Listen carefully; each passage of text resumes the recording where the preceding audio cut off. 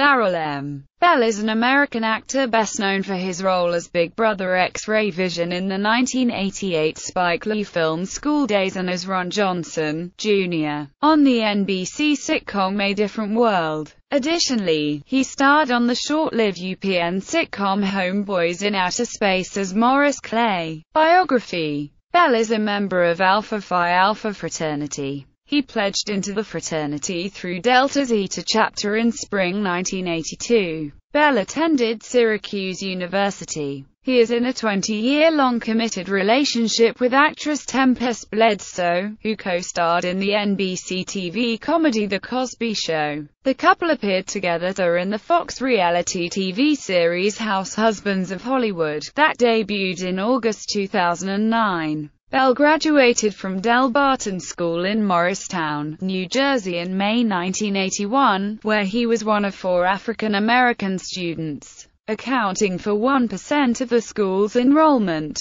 Bell's father, Travers J. Bell, Jr., was the founder of the first black firm on the New York Stock Exchange.